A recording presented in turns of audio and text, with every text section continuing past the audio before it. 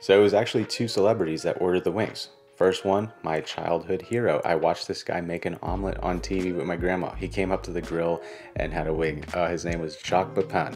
Jacques Pepin's the freaking legend. If you're watching this, you're probably not. Freaking love you.